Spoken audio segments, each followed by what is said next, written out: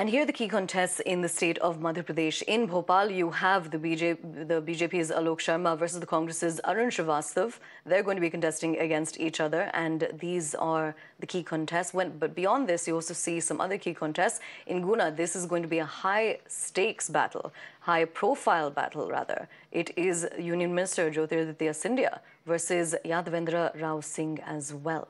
Now, next, when you come to the key contests beyond Bhopal and Guna, then you also have Rajgarh, where you have the BJP's Rodmal Nagar, as well as the Congress's Digvijay Singh. Remember, he's returning to the poll fray, and he's also a former chief minister of the state.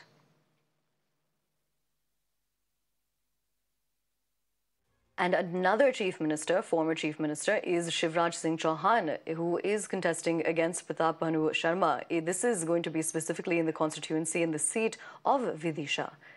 And when it comes to the key contests, these are just some of the high profile and key contests that we're going to be seeing today, where again, it's going to be a battle between the BJP and the Congress mainly.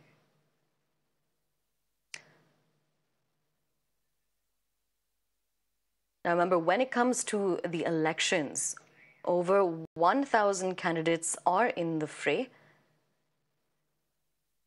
and 93 seats are up for grabs.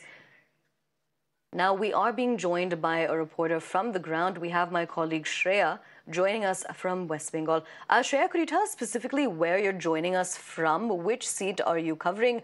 And uh, tell us more now about the key contest that's taking place there.